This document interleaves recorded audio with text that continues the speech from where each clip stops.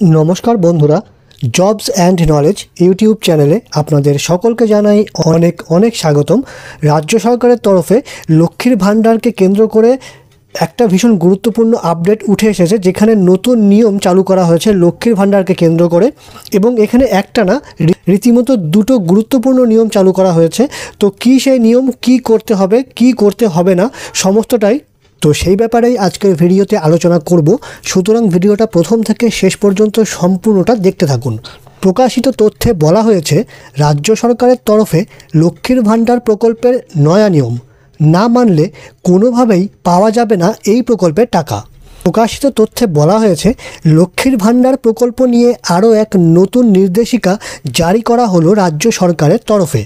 ইতিপূর্বে দু হাজার বাইশের একেবারে শেষে লক্ষ্মীর ভাণ্ডার সংক্রান্ত অনিয়ম বন্ধ করার জন্য রাজ্য সরকারের তরফে আরও এক নির্দেশিকা জারি করা হয়েছিল। আর এই নির্দেশিকা অনুসারে এবার থেকে লক্ষ্মীর ভাণ্ডার প্রকল্প সংক্রান্ত সমস্ত কার্যক্রম পরিচালিত হবে।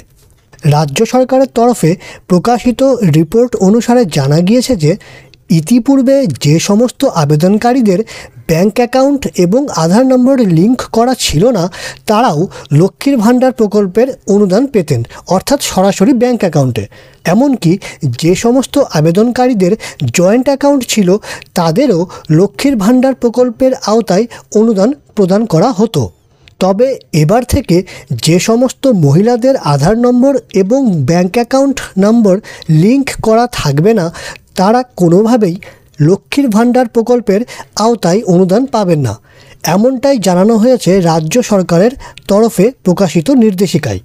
এই নির্দেশিকায় আরও জানানো হয়েছে যে যে সকল মহিলাদের সিঙ্গেল অ্যাকাউন্ট রয়েছে তারাই কেবলমাত্র লক্ষ্মীর ভাণ্ডার প্রকল্পের আওতায় আবেদন জানাতে পারবেন। দু হাজার নভেম্বর এবং ডিসেম্বর মাসে রাজ্যব্যাপী লক্ষ্মীর ভাণ্ডার প্রকল্পের যে সমস্ত ক্যাম্প আয়োজন করা হয়েছিল, তাতে লক্ষ্মীর ভাণ্ডার প্রকল্পের আওতায় আবেদনের জন্য প্রয়োজনীয় ফর্মের পাশাপাশি আধার প্রমাণীকরণের একটি ফর্ম জমা দিতে হয়েছিল আবেদনকারীদের। অর্থাৎ এখানে বন্ধুরা একটা বিষয় আপনারা লক্ষ্য করবেন, এখানে কিন্তু এবার থেকে দুটো করে ফর্ম চালু হয়ে গিয়েছে। এই দুটো ফর্ম যারা জমা করবেন না, তাদের ক্ষেত্রে কিন্তু নতুন লক্ষ্মীর ভাণ্ডার প্রকল্পের জন্য সবুজ সংকেত পাবেন না। অর্থাৎ নতুন লক্ষ্মীর ভাণ্ডারের টাকা কিন্তু আপনারা পাবেন না। আগামী দিনেও একইভাবে লক্ষ্মীর ভাণ্ডারের আওতায় আবেদনের ক্ষেত্রে আবেদনকারীদের এই ফর্ম জমা দিতে হবে। অর্থাৎ মূল ফর্মের সঙ্গে একটা আধার প্রমাণীকরণের ফর্ম কিন্তু জমা দিতে হবে। এটা অবশ্যই মনে রাখবেন। আধার প্রমাণীকরণের এই ফর্ম ছাড়া কোনোভাবেই লক্ষ্মীর ভাণ্ডার প্রকল্পের আওতায় আবেদন গ্রহণ করা হবে না। যদি কোনো মহিলা কোনো ক্ষেত্রে আবেদনপত্র জমা করেন অর্থাৎ শুধু আবেদনপত্র তাহলেও ওই সকল মহিলারা কোনোভাবে লক্ষ্মীর ভাণ্ডার প্রকল্পের আওতায় অনুদান পাবেন না বলেই জানানো হয়েছে রাজ্য সরকারের তরফে প্রকাশিত নির্দেশিকাতে। প্রাথমিকভাবে জানা গিয়েছে যে ইতিপূর্বে বহু সংখ্যক মহিলা বয়সের নথি জাল করে লক্ষ্মীর ভাণ্ডার প্রকল্পের আওতায় অনুদান গ্রহণ করেছিলেন। আগামীতে যাতে এই ঘটনার পুনরাবৃত্তি না হয়, তা নিশ্চিত করার জন্যই রাজ্য সরকারের তরফে এই আধার প্রমাণীকরণের ফর্ম কার্যকর করা হয়েছে।